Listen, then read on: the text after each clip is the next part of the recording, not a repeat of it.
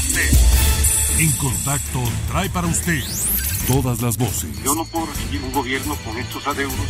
Es completamente falso. No hubo una sola víctima. Las opiniones. Hemos actuado de frente. Yo no voy a iniciar mi gobierno dando pasos fuera de la ley. El acontecer de los temas más relevantes en la mesa de análisis.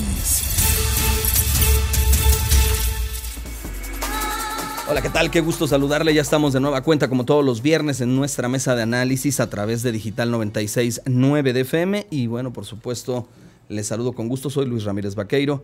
Gracias a mi compañera Leti Silva que nos presentó uh, la información. Con ella cerramos la semana informativa y bueno, por supuesto, entramos a esta mesa de análisis y discusión que esta empresa periodística realiza como todos los viernes. Y bueno, agradezco la presencia este viernes eh, aquí en el estudio de dos personalidades, dos uh, buenos amigos a los cuales pues ya en otras ocasiones los ha escuchado usted y los ha visto. Esta, esta tarde está con nosotros Rafael Arias Hernández, catedrático, investigador, articulista y bueno, el currículum es sumamente amplio. Rafa, muchas gracias por estar aquí con nosotros. Gracias, mi querido Luis, Alfredo. Qué bueno y, que estamos aquí. Y gracias también a don Alfredo Bielma Villanueva, analista político, ex legislador, ex funcionario público estatal, federal y bueno, eh, también columnista. Gracias como siempre por, por gracias, acompañarnos, don Alfredo. Una semana intensa, una semana intensa en materia informativa porque vimos de todo el arranque de las campañas electorales que finalmente nos hemos de chutar 30 días eh, pues escuchando pues ofertas y propuestas, eh, discursos. Hemos visto también eh, estos desequilibrios que tiene el sistema democrático. Y vamos a empezar por lo primero, como dicen, por la primera parte que abrió la semana. Nuevamente, Eva Cadena, eh, Rafa, vuelve a dar la nota. Esta integrante de esta fracción parlamentaria de Movimiento de Regeneración Nacional, aunque hoy ya tiene otro nombre, creo que se llama Movimiento de Recaudación Nacional. Eh, y bueno, finalmente, primero fue un 4, luego un 8, ahora un 16 y quién sabe si la tabla del 4 nos la vamos a tirar completa porque pues evidencia que ahí, al menos en esta diputada, las mañas y los actos que podrían ser considerados delitos pues son evidentes. Juicio de procedencia, ¿sirve o no sirve para sancionar esto? Bueno, yo creo que lo que estamos viendo es dos eh, hechos simultáneos. Uno, hecho, uno es evasor que es precisamente el exagerar, el aumentar, el intensificar la magnitud del evento, que desde luego, y lo aclaro, es condenable. Pero este, lo que está en juego es eh, lo segundo, es decir, hay un sistema que no ha atendido la impartición de justicia, sí. que ha permitido la corrupción, que ha permitido la delincuencia y que simple y sencillamente recurre a estas eh, situaciones que deberían ser resueltas en todos los casos con la simple eh, denuncia y consignación y la procedencia del aparato de administración y procuración de justicia. El problema que estamos viendo, yo lo pondría en otra perspectiva, es un sistema que se está agotando, que está haciendo uso de lo que frecuentemente hace y que no atiende la cotidianidad, que no atiende las necesidades de los mexicanos, en este caso de los veracruzanos, y que todo se nos va en distractores cuando este país sigue hundiéndose en la pobreza y en el hambre. No se piensa en las personas, sino que los que están en el poder lo único que piensan, y aquí está el caso Veracruz, es mantenerse en el poder para no, pues no ir a la cárcel, sino que no sean denunciados, que no sean exhibidos, o que no pasen al sistema de calambres y ordeña, que ese es un nuevo sistema, sí. donde aparece un nombre, Ajá. aparece el calambre y aparece la ordeña. Yo creo que es muy preocupante, creo que en principio tendríamos que hacer un replanteamiento de nuestra responsabilidad, de la responsabilidad de los medios. Hay medios que exageran esta situación, hay indiscutiblemente eh, asociaciones delictivas con muchos medios. Que, que, simplemente se olvidan de los derechos y se olvidan de la verdad sí. y exageran. Yo lo pondría un poco eh, en, en, la perspectiva de lo que le está pasando a México, campeón, si no campeón, seguramente va a estar en la liguilla de la corrupción y la impunidad en mundial, claro. segurito que está en la liguilla, y que eh, en, también en el otro aspecto que quiero insistir, ¿quién atiende a la población? ¿Quién está enfrentando los problemas, está atendiendo las necesidades de las gentes. Cuando estamos viendo este, este, estas innumerables batallas, algunas de ellas solo de tentativa, otras tan evidentes como la que supimos de Odebrecht eh, eh, a través de los Estados Unidos, que un, un, funcionario de altísima responsabilidad, pues nada más se llevó 10 millones de dólares o 5 millones o ya no sé qué cantidad, y eso no merece la mínima atención. ¿Por qué? Porque fue un hecho consumado, porque fue con Brasil, pero que tiene repercusiones en algunos lugares en donde se dieron concesiones, se mantienen concesiones y algunas hasta privatizaciones de lo más esencial. Entonces, mi punto de vista es que qué bueno que tengamos la oportunidad en este medio de hacer un análisis y de externar nuestra opinión sobre problemas que aparentemente este, eh, llaman poderosamente la atención y muchas veces se utilizan como distractores. Cierto es lo que mencionas, eh, Rafa y don Alfredo. Coincido en el sentido de que el, aparato de Estado, el sistema político mexicano está enmohecido, comienza a oler mal ya, comienza como a, descomponerse porque finalmente, y lo vemos reflejado en un personaje como Andrés Manuel López Obrador, que ante los esbozos de este tipo de pruebas, videos con el caso de Eva Cadena, pues lo que hace de forma regular eh, es negar, ¿no? Siempre niega que existe un, un trasfondo de parte de él. Él no tiene participación nunca en esto, pero lo extraño es los costos políticos que le pueden acarrear y también con qué clase de personas se junta, porque da la casualidad que le podemos enlistar una serie de personalidades que lo han acompañado, como René Bejarano, como un Ponce, como este señor. Todos los casos que están documentados, tanto periodísticamente como en otros, eh, en otros términos, eh, tanto jurisdiccionales, donde se ha comprobado que personas allegadas a él tienen la proclividad a pues, hacer este tipo de cosas. ¿no? Y sin embargo lo niega. El, y ya en, en, términos de geografía y de, y de zoología política, tendremos que empezar los mexicanos a realmente preocuparnos porque ya no es tanto lo que hace la clase política, están a la vera del camino, todo el mundo Sabemos quién es quién de los actores y factores políticos de México, entre ellos, por supuesto, y uno mucho muy destacado, es Andrés Manuel López Obrador. Y, ha tenido, por cierto, después de 10 años de andar en campaña, pues un hándicap extraordinario porque ciertamente su partido de reciente creación lleva una ventaja en la apreciación ciudadana. ¿Por qué lleva la ventaja en la, en la apreciación ciudadana? Simple y sencillamente porque ya como dijera el bate veracruzano Díaz Mirón, no viendo más que sombras en el camino, me contempla el resplandor del cielo y el cielo, la esperanza, el rayito de sol es López Obrador. Y bueno, pues allí está la única opción que se le muestre a la ciudadanía mexicana es algo que no hemos conocido como gobierno. A los demás ya lo hemos conocido como gobierno, ya hemos tenido 12 años de gobierno panista y, muchísimos años de gobiernos periodistas y en algunos estados, 4 o 5, de gobiernos perredistas y ninguno de ellos ha mostrado una buena cara, al menos la cara de la corrupción siempre ha estado allí presente en todos y debiera ser igual porque, bueno, el caldo de cultivo de donde emergen estos actores políticos es el mismo, es la sociedad y la cultura mexicana. Pero me digo, debemos preocuparnos porque qué hace mientras tanto la ciudadanía mexicana entre estos actores que se paran ante nosotros con buenos discursos, con discursos mucho muy iterativos acerca de la corrupción, de la lucha contra la corrupción, acerca de la inseguridad pública y no vemos en el panorama ninguna solución a los problemas, grandes problemas nacionales.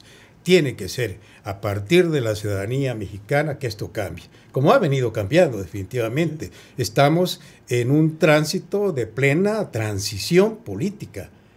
Eh, y la prueba está, bueno, en Veracruz, después de desde 1946 que el PRI gobernó Veracruz, ahora estamos en una alternancia, buena, mala, vamos a esperar los resultados, pero mientras tanto ya la ciudadanía veracruzana al menos digo, hasta aquí, ya basta. Hay, algo ahí que debemos abonar a, esto que señalamos. ¿Por qué la ciudadanía convierte en ese rayo de esperanza, como lo que advierten a Andrés Manuel López Obrador, cuando se calificaría que dentro de la zoología política, estos personajes que andan por allí, pues eh, eh, para la sociedad, y eso es lo grave del tema, es el menos malo, es el menos peor, y también concluyen que bueno, han robado tanto los otros que bueno, que robe este, porque este es el que menos, menos eh, señalamientos tiene, ¿no? Eso es grave ya, hablar de, que la corrupción se esté mutando y que la sociedad prefiera un personaje de esta calaña, ¿no? Bueno, yo eh, aquí eh, retomaría el punto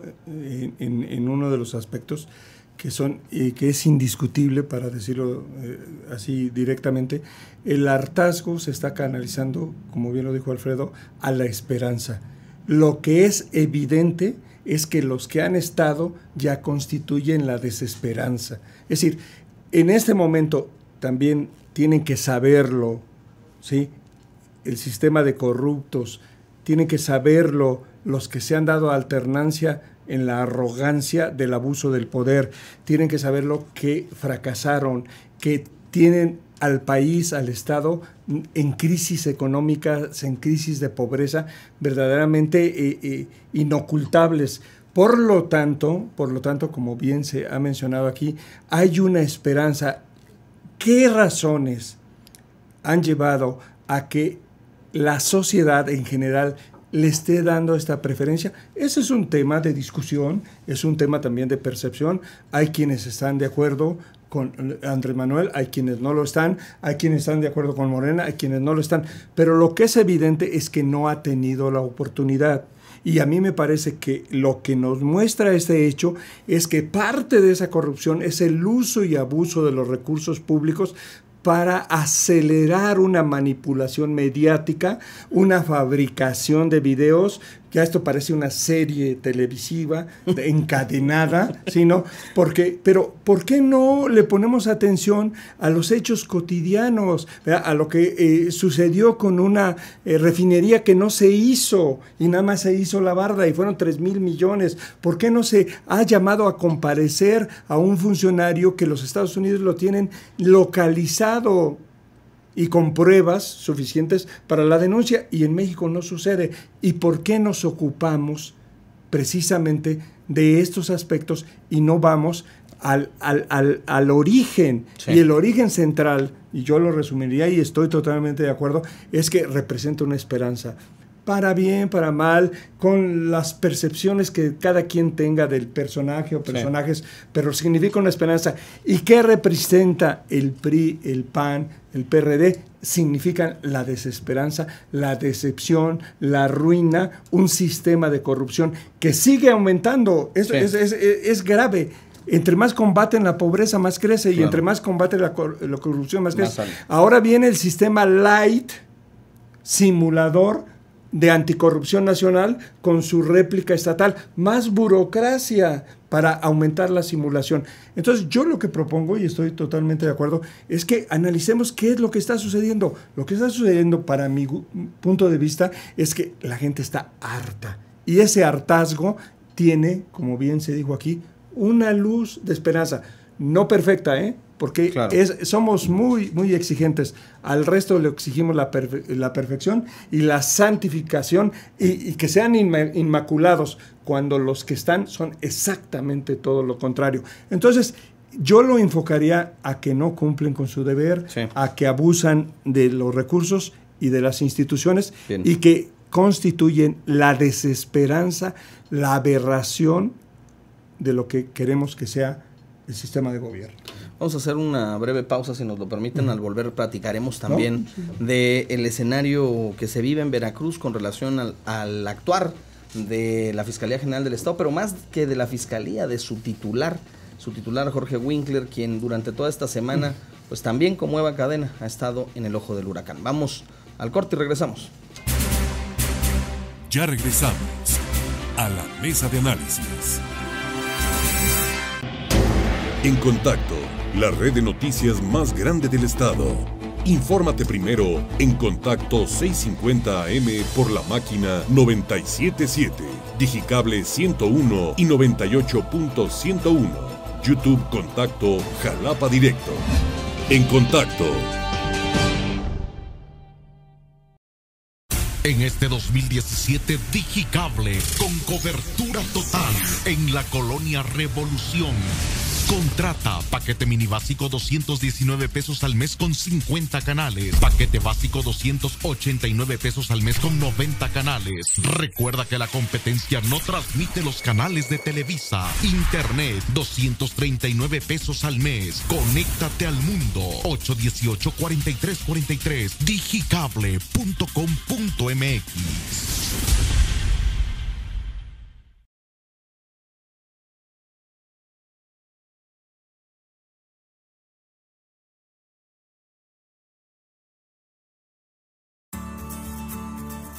testigo fiel al paso de los años de la historia de la capital veracruzana, cual centinela resguarda el Palacio de Gobierno y la Catedral Metropolitana.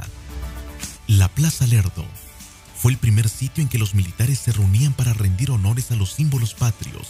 Era el punto en el que finalizaba el recorrido del llamado Camino Real. Lleva el nombre del ilustre jalapeño, don Sebastián Lerdo de Tejada, y contiene la réplica del estatua original del expresidente de la República, de 1872 a 1876. Hoy en día la plaza es el punto de concentración para los grupos de ciudadanos organizados que desean realizar algún tipo de manifestación o consigna al gobierno, pero también para llevar a cabo alguna celebración masiva.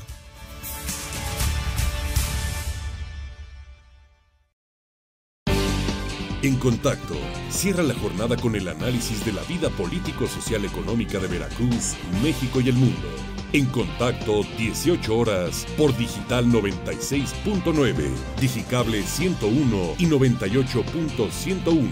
YouTube Contacto Jalapa Directo. Soy Leticia Silva. Acompáñame. Te invito a informarte conmigo. En Contacto Vespertino. En Contacto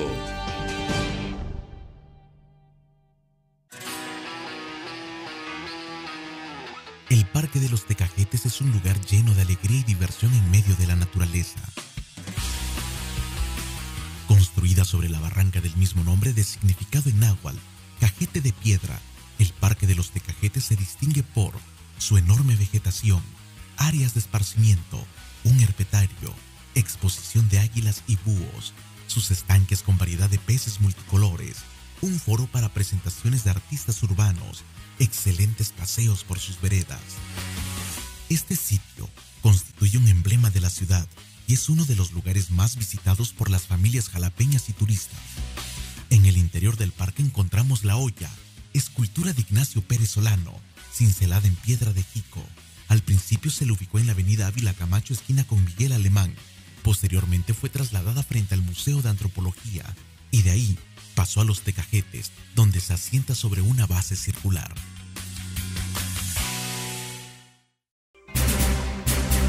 Estamos de regreso en la mesa de análisis.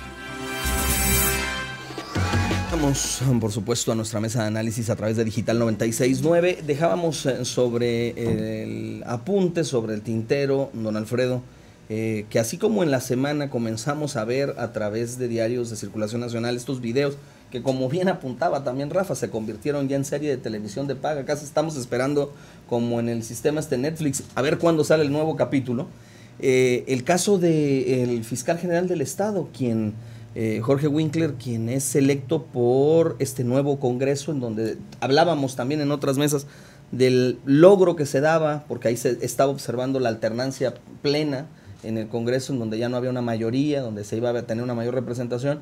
Los diputados lo eligen, lo nombran eh, fiscal del Estado, y este arremete contra los diputados diciendo que son unos corruptos, que eh, pues eh, todos son corrupción. No, hay una dualidad en el discurso. Si él es electo por este Congreso que es corrupto, estamos hablando de que él y su función es un acto corrupto. Bueno, es decir, él fue formalmente electo, pero fue designado por el gobernador. Lo otro es la ley, la parafernalia de la ley, lo que vimos, los que nos vendieron, eh, el, gobernador propone y la autonomía del Poder Legislativo dispone. Eso todo el mundo sabemos cómo estuvo. Eh, pero al margen de la personalidad de quien esté al frente de la Contraloría, su, la forma en cómo se ha conducido, la forma en cómo se condujo el anterior fiscal, nos da materia para reflexionar que algo hay que hacer en la ley para que no caigamos justamente en lo mismo, porque el anterior fiscal fue un representante del gobernador del estado y este es un representante del gobernador del estado. Su autonomía es cuento, es puro cuento. No hay un fiscal en Veracruz, un fiscal auténticamente autónomo. El Congreso votó para que la solicitud o la propuesta que hizo el gobernador, pues así resultara en su favor, porque además fue la única. Fue la única. Winkler y punto, y ya ellos votaron, simple y sencillamente, al interior de los de la legislatura, pues se hacen las componendas y queda el que la, el cabildeo decida, y el cabildeo era a favor de Winkler. Insisto, independientemente del anterior, del actual fiscal, es lo que menos importa, que se conduzca con la autonomía suficiente, es lo que dice la ley. No ha sido así. Él ha estado sujeto a, consignas, a instrucciones, que por lo demás el sistema así lo, lo, lo amerita. Pero en abono al actual fiscal, quiero decir esto. Cualquiera que haya estado al frente, independientemente del nombre del fiscal, encontraría los mismos problemas que está encontrando. Es decir, primero, enfrente una legión de corruptos a los que hay que meter a la cárcel y esto corresponde a una legión de expedientes que hay que integrar. Carpetas de investigación que deben estar bien integradas de tal manera que los corruptos no escapen por la cuestión del debido proceso. Pero la infraestructura misma de la Fiscalía, aún ahora, no está preparada para este impacto tan alto que tiene que hacer. ¿eh? Entonces, bueno, pues hay que ponerse también en el lugar del fiscal, tiene una enorme presión, porque por un lado su presión es hacer las cosas bien acá en la fiscalía, porque así lo demanda la ley, y por otro lado quedarle bien a su jefe, ¿no? Que cuidado que debe ser presión fuerte. Sí, bueno, ahí también eh, es complicado. Decía Adolfo Ruiz Cortines que habría que cuidar muchísimo la investidura de un funcionario y la Fiscalía General del Estado en esa autonomía que de la que hoy habla eh, don Alfredo Rafa eh, pues debiese cuidarlo más sobre todo para pues aparentar simuladamente que se tiene la autonomía tal te pregunto caben las calificaciones y expresiones en un personaje pues que vierte a la ligera comentarios en contra de colectivos diputados periodistas y cuanto se le atraviesa enfrente no, bueno, desde luego ya hemos visto que han sido situaciones inapropiadas y quiero un poco este, eh, eh, analizarlo desde una perspectiva que, que, implica una mayor responsabilidad ciudadana. Es decir, no podemos eh, dejar la Procuración y Administración de Justicia en las manos de la tradición, porque incluso muchas de las reformas, incluso el nuevo sistema y todos esos aspectos que están intentando, que llevamos años intentando eh, eh, consolidarlos, no se ha podido avanzar sustancialmente. ¿Por qué? Porque precisamente existe una resistencia basada en corrupción, complicidad, eh, ineficiencia, desinterés, mediocridad, lo que ustedes llaman, que no permite la acción de la justicia. Pero tenemos que recordar también que los ciudadanos tenemos que hacer valer la iniciativa ciudadana y tenemos que exigir responsabilidad, no solo en las expresiones, yo creo que todo el mundo merecemos eh, el respeto que debe dar la civilidad. No, no, en el cumplimiento de las obligaciones. Yo ahí sería mucho más exigente en el cumplimiento de las obligaciones. ¿Y qué va a ser? Y ahí estoy de acuerdo con, con Alfredo, un fiscal que llega y se encuentra que la situación, igual que el gobernador, llega y se encuentra que la situación financiera era peor de lo que se esperaba. Llega un fiscal y se encuentra con una situación peor de la que se imaginaba y que él conocía como abogado, como un buen abogado. es decir, la realidad va superando al discurso y a la misma percepción de quienes llegan. ¿Qué es lo que tenemos que hacer? Pues que se replantee el funcionamiento y hay un elemento que yo quiero poner sobre la mesa y, que mencionaba fuera de cámaras este Alfredo y me voy a permitir citarlo, necesitamos asumir una responsabilidad ciudadana participativa que no sea solo el día de las elecciones ir a entregar un voto y un cheque en blanco y que cada quien haga lo que le dé la gana. Eso nos tiene como nos tiene. Lo que necesitamos es una participación permanente, constante, y que los medios de comunicación no sean cómplices, porque también hay que decirlo, son cómplices y permiten y manipulan y ocultan, y que hagan lo que ahorita se está haciendo. Si pueden no estar de acuerdo conmigo, con Alfredo, con el mismo Luis, pero que se discutan públicamente estos temas. El problema de la Administración de Justicia requiere de una participación ciudadana mayor. No, no se puede hacer a un lado de ninguna manera a quienes padecen una injusticia porque son víctimas o porque sus familiares lo hicieron. Entonces hay que crear esos mecanismos. Que no lo sabía, no va a ser fácil, no hay recursos, hay muchas resistencias. Yo aquí lo que llamaría la atención, más allá de esas expresiones que no justifico desde luego, yo buscaría la forma de que verdaderamente haya en, la Procuración y Administración de Justicia una participación mayor. ¿Por qué? Porque si no, pagamos las consecuencias. ¿Es sostenible, eh, don Alfredo, el fiscal bajo este tipo de actitudes?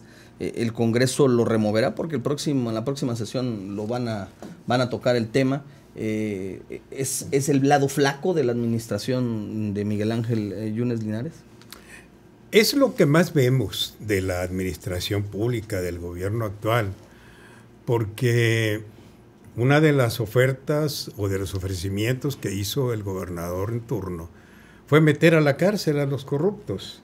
Y ya lo dije, son una legión extraordinaria, son muchísimos expedientes por conformar.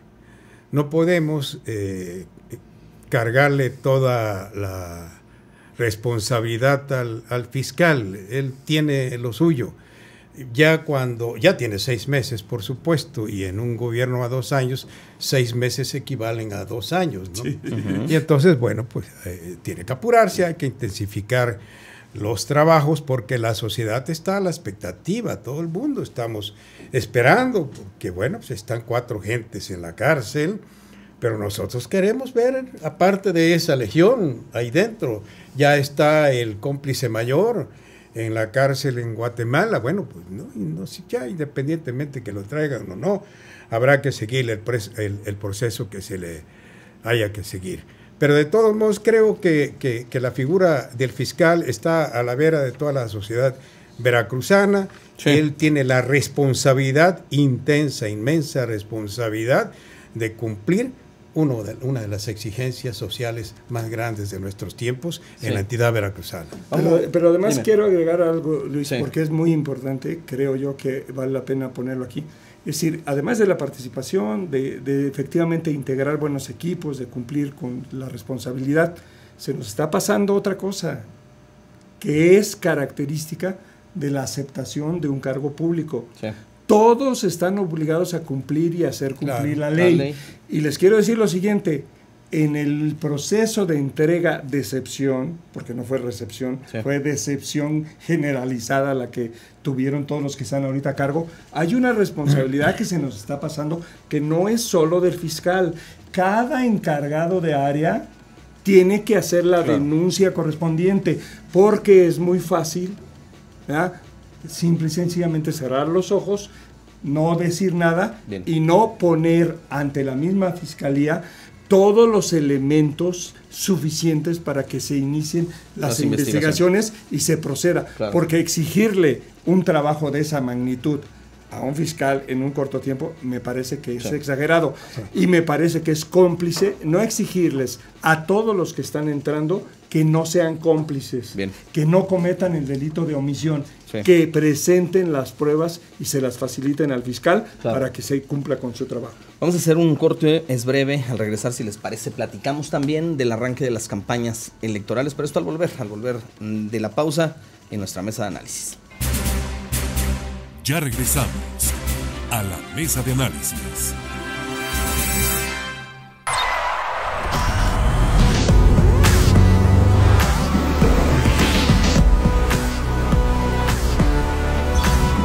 Totalmente nuevo Nissan Kicks. Movilidad en Easy Mode.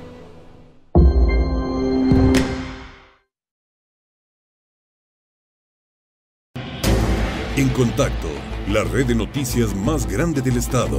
Infórmate primero en contacto 650 AM por la máquina 977, Digicable 101 y 98.101. YouTube Contacto Jalapa Directo. En contacto.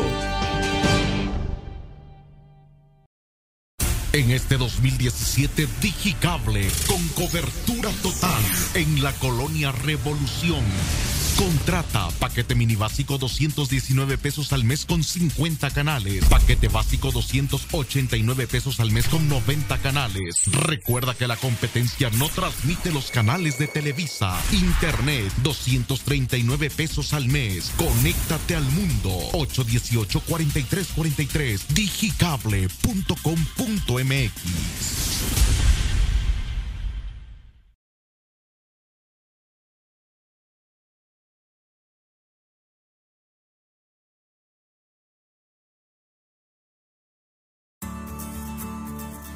testigo fiel al paso de los años de la historia de la capital veracruzana, cual centinela resguarda el Palacio de Gobierno y la Catedral Metropolitana. La Plaza Lerdo fue el primer sitio en que los militares se reunían para rendir honores a los símbolos patrios. Era el punto en el que finalizaba el recorrido del llamado Camino Real. Lleva el nombre del ilustre jalapeño, don Sebastián Lerdo de Tejada, y contiene la réplica de la estatua original del expresidente de la República, de 1872 a 1876. Hoy en día la plaza es el punto de concentración para los grupos de ciudadanos organizados que desean realizar algún tipo de manifestación o consigna al gobierno, pero también para llevar a cabo alguna celebración masiva.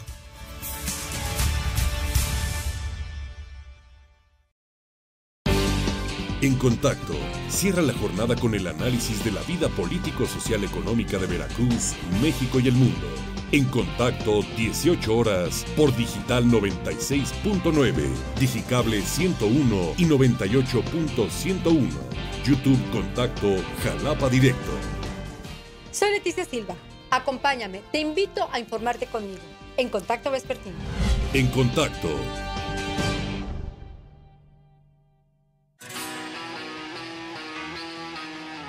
El Parque de los Tecajetes es un lugar lleno de alegría y diversión en medio de la naturaleza. Construida sobre la barranca del mismo nombre de significado en náhuatl, Cajete de Piedra, el Parque de los Tecajetes se distingue por su enorme vegetación, áreas de esparcimiento, un herpetario, exposición de águilas y búhos, sus estanques con variedad de peces multicolores, un foro para presentaciones de artistas urbanos, excelentes paseos por sus veredas. Este sitio constituye un emblema de la ciudad y es uno de los lugares más visitados por las familias jalapeñas y turistas. En el interior del parque encontramos la olla, escultura de Ignacio Pérez Solano, cincelada en piedra de Jico. Al principio se le ubicó en la avenida Ávila Camacho, esquina con Miguel Alemán. Posteriormente fue trasladada frente al Museo de Antropología y de ahí pasó a los Tecajetes, donde se asienta sobre una base circular. En contacto, el equipo informativo más completo de la radio trae para ti el acontecer noticioso del día. En contacto, segunda emisión, 13 horas por la máquina 977, Digicable 101 y 98.101. YouTube Contacto Jalapa Directo. Si te quieres mantener informado, te invito a que sintonices en contacto. Soy Luis Ramírez Vaqueiro. Acompáñame. En contacto. Estamos de regreso en la mesa de análisis.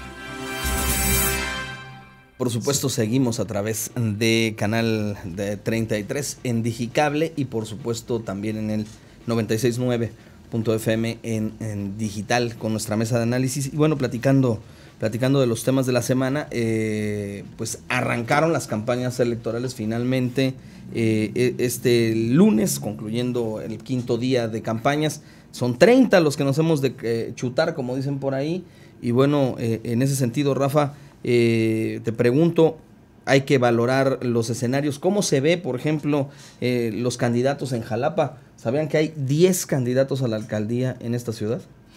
Sí, bueno, yo antes eh, pondría una cosa que, siguiendo en el tema que hemos estado mencionando, entramos a lo que es una, pues un gran entretenimiento de una democracia que no lo es, porque se elige al que tiene más votos, o sea, por lo regular se elige a la minoría mayor, no tenemos oportunidad Primera minoría. Sí, no tenemos la oportunidad de arrepentirnos de haber el, electo a un inepto, lo tenemos que aguantar todo el periodo. O sea, yo pondría ese tema ahí, pero además pondría un segundo, el descrédito.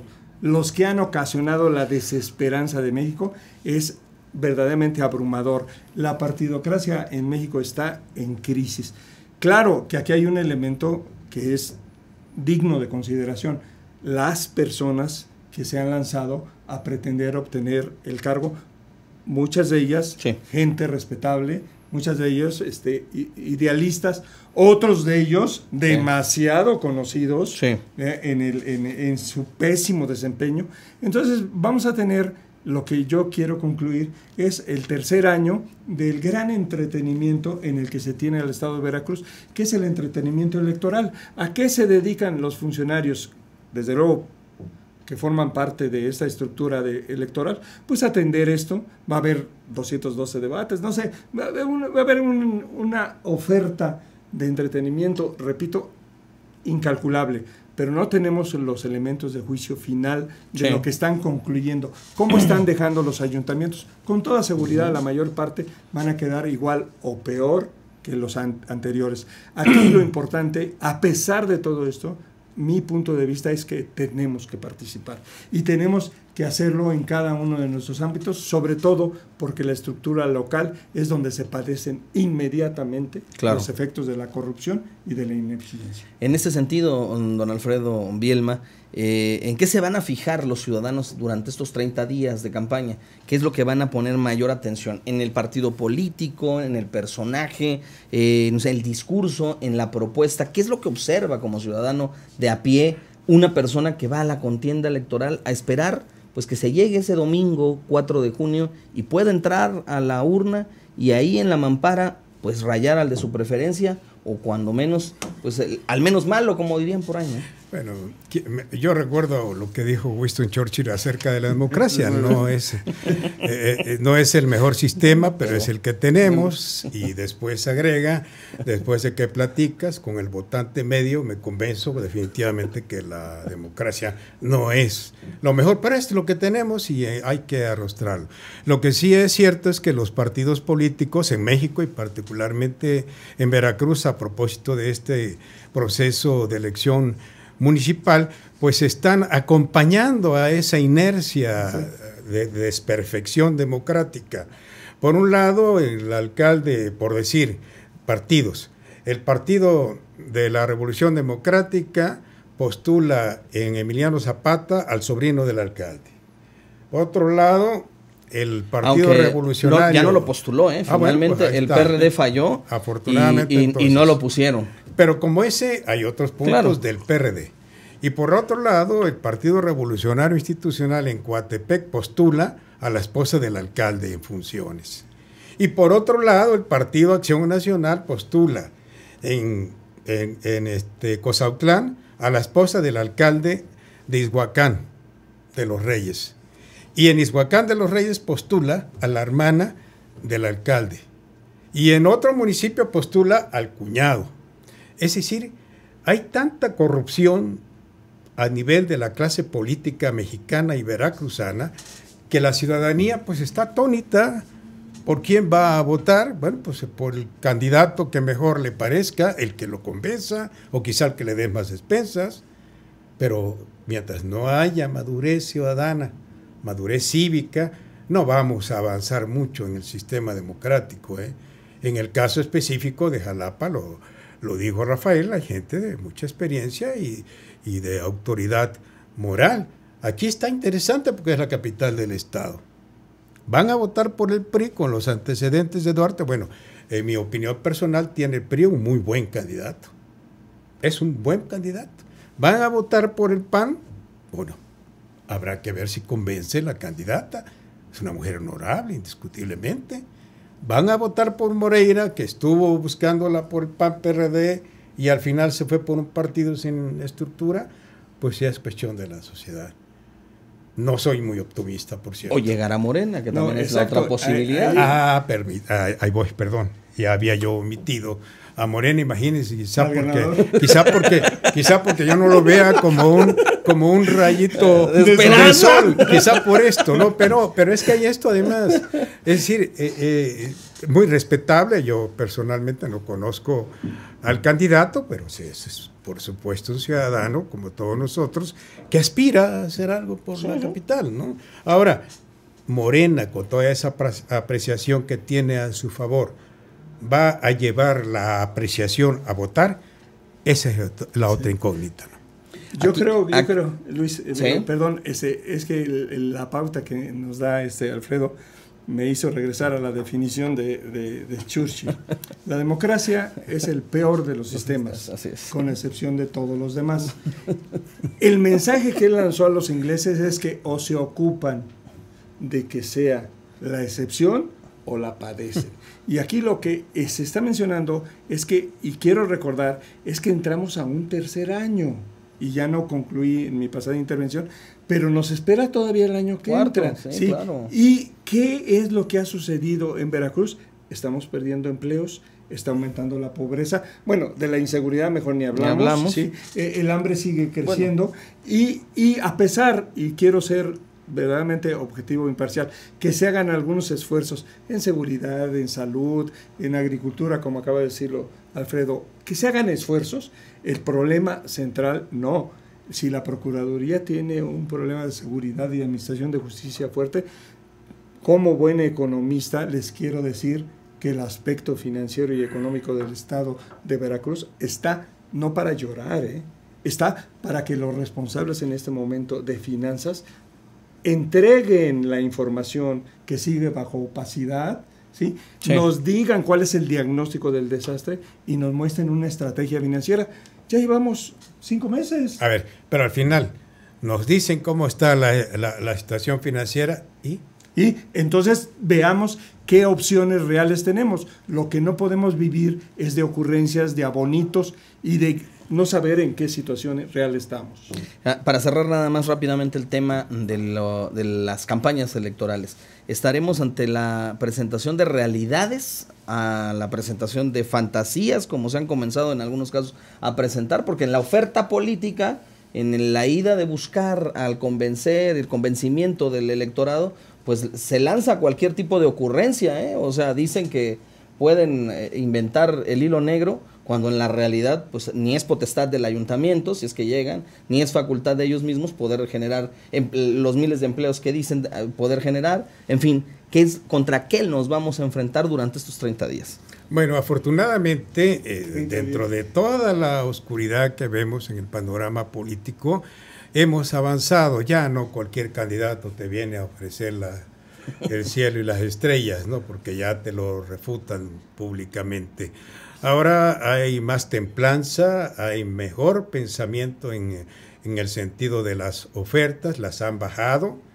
Es más equilibrado esto, más equilibrado, por supuesto, hay más responsabilidad también por parte de los candidatos. El mismo candidato que hace tres o seis años estuvo y dijo que iba a revolucionar Jalapa o Veracruz o Boca del Río, etcétera, presentándose ahora ya no hace los mismos planteamientos, porque las circunstancias objetivas han venido cambiando considerablemente. Para bien, eso sí, de la democracia. Yo creo que además hay un elemento fundamental que, que debemos tener en cuenta y que se mencionó al principio.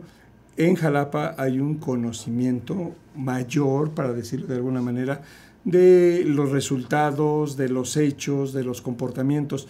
Y yo sigo pensando que eh, eh, Morena ha sabido en sus formas, eh, captar ese hartazgo y desde luego no tuviera la atención de los otros partidos si no estuviera lidereando y acaparando ese hartazgo. Y lo que va a ser significativo, y tiene razón este, eh, Alfredo, es en primer lugar que el ciudadano llegue de las pocas oportunidades de participación a emitir su voto y lo haga pensando en los resultados. Porque si se involucra en la feria de las despensas o se involucra en el enajenamiento encadenado de series televisivas, pues entonces... Eh, para cerrar la mesa, porque nos quedan apenas unos minutitos, eh, un tema que también durante la semana se vio es esta telenovela que nos hemos estado chutando, pues es la, la captura del prófugo, le podríamos decir así, ahora ya está preso Duarte y bueno, la pregunta que surge, ¿se le debe de dar un trato especial a Javier Duarte como reo en Guatemala? Porque ya envió una queja de que le duele la cama de piedra en la que está, se ha de acordar mucho de Cuco Sánchez quiere un colchón ortopédico, quiere que le den algunos, eh, le permitan salir a caminar, que le permitan hacer algunas cosas. Y bueno, también en la semana nos enteramos que lo trataron de intimidar al interior los supuestos guardias, que cambió de abogados, o sea, si no tenía dinero según o no se había llevado nada, ¿de dónde salen los mejores abogados de Guatemala para defenderlo? Bueno, como ciudadano veracruzano yo creo que sí se le debe dar un trato especial a Javier Duarte de Ochoa, por supuesto, sí. El trato que se merece por la ley, un trato especial de recluirlo por muchísimos años en la cárcel. Ese es el trato especial que se merece. Lo del colchón y todo, bueno, pues eso lo puedo conseguir pagándole a los este, custodios. Eso se hace, ¿no? Ya si lo consigue, pues es cuestión de los custodios y de él. Tiene capacidad económica para hacerlo, pero el trato especial, por supuesto que todos los veracruzanos y todo México pide que se le dé y que se le aplique la ley con todo el rigor que sea posible, por supuesto que sí. El aparato de Estado mm, actual, el gobierno del Estado ha eh, pues expropiado una propiedad atribuible a Javier Duarte en Tlacotalpan. Hoy leía que los dueños de la casa, con posesión de la casa por 10 años, van a contrademandar porque está violentándose su derecho.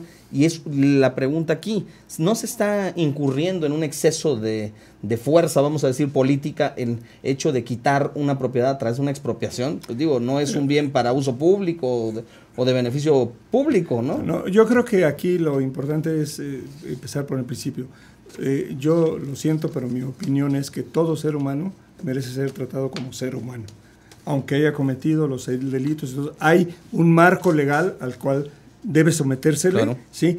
Y en lo que también estoy de acuerdo es que se le tiene que dar un cuidado especial porque no solo es su reclusión lo que importa al pueblo de Veracruz, es que regrese, ¿eh?